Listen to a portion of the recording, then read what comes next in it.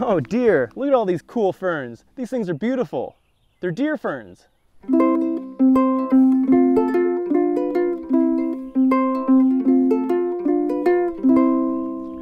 Now, deer fern are really easy to identify because they radiate out from a central rhizome or cluster of two different kinds of fronds. Now, the first frond is a sterile frond, and these are evergreen, deeply lobed, kind of tapered at the base and the tip, and grow at a 45 degree angle to flat along the floor. And this is what the plant uses to photosynthesize to get most of its energy from.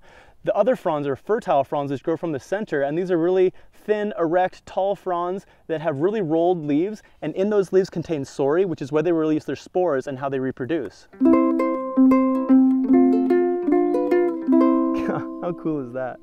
Now, deer fern is a really common ground cover throughout Cascadia and beyond, growing in wet soils and forests, along stream banks or wetlands, and they're grown ornamentally quite frequently as well because they're just so dang pretty. They're also a favorite food for caribou, moose, elk, and deer, which is where they get their name from. These ferns sure are pretty cool. I love them a lot. Hold them dear to my heart.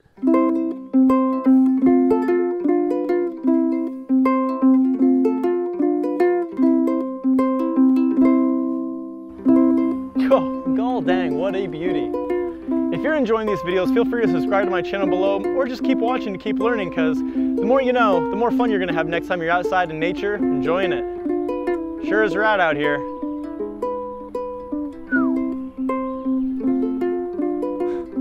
There's just, there's so much green, you know? I've never seen this much green before.